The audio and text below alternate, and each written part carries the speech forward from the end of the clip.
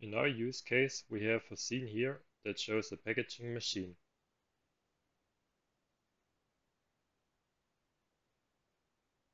On the right hand side, we have an info panel which is based on HTML5 which you can design and adapt by yourself. In our case, the info panel here is displayed individual working steps for changing a tool.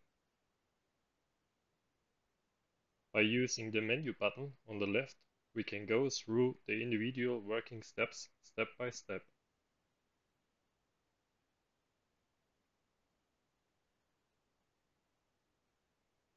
In the first step, we are asked to stop the machine.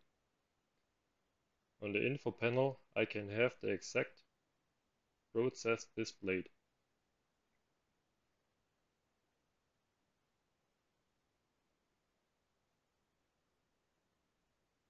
In addition to the work instruction on the info panel, I have the whole scene and workflow displayed animated by clicking the instructor button. Here I'm gonna show you how to open the door.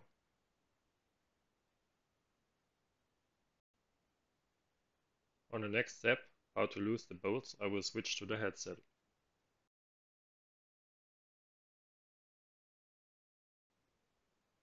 In the headset, I have the same opportunities to click through the work steps and to view the instructions on the info panel and also via the instructor button. Now I can have a look what our dummy is doing.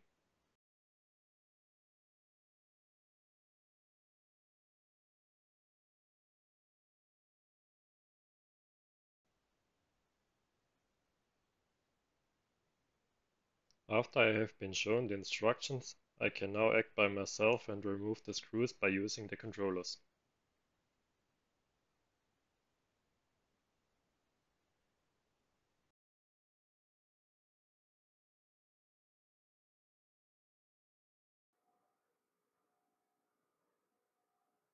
At the next step, we will be asked to remove the flow tool.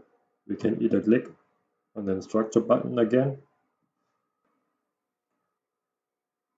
or we can also watch a video on the info panel.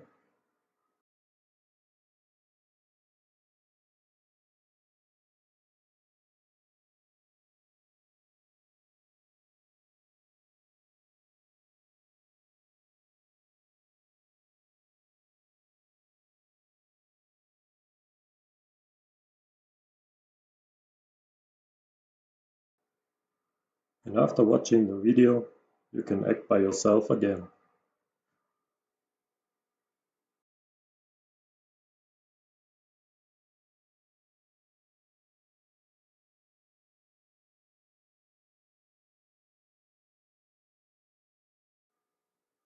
As maintained at the beginning, you can display the HTML5 pages shown on the info panel with a wide variety of content.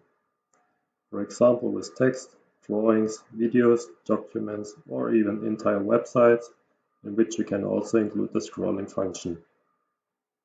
So this allows you to display your own personal scene with your own personal working instructions.